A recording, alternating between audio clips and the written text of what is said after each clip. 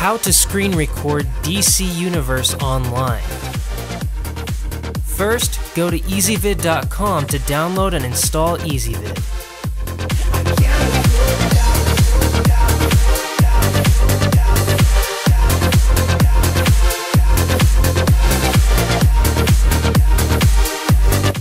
Right click on your desktop and choose Screen Resolution.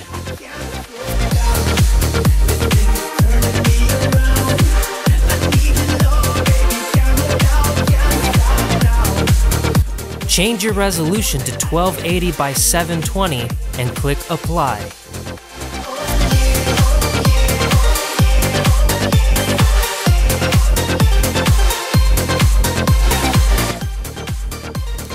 Launch DC Universe Online.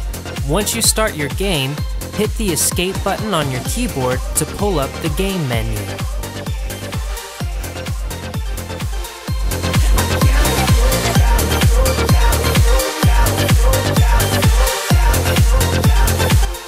Click Settings, then go to the Video menu and make sure full screen is off.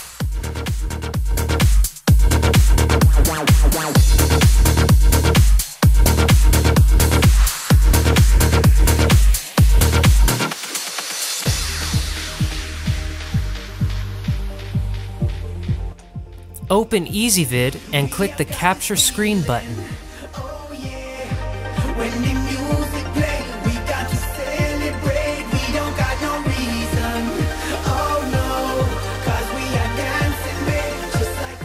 After the countdown, begin playing your game.